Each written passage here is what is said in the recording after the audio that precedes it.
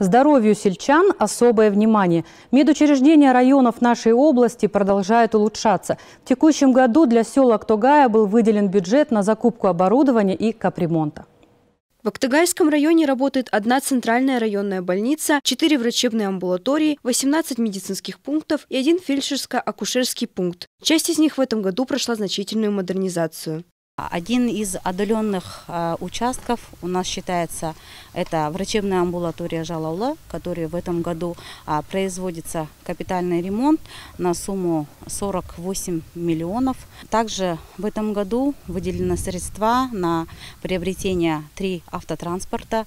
Это у нас в том числе также будет приобретено для врачебной амбулатории Жалаула. Обновление сельских ФАПов произошли также в селах Муткенова и Ауильбек. В этом году у нас а, также производится капитальный ремонт. Это в село Муткенова. Капитальный ремонт также составил на сумму 48 миллионов тенге.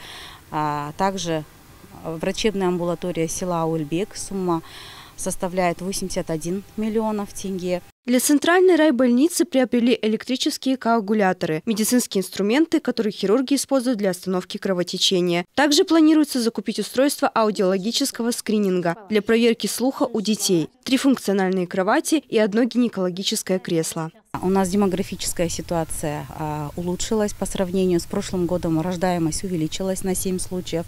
А, общая смертность у нас снизилась в два раза.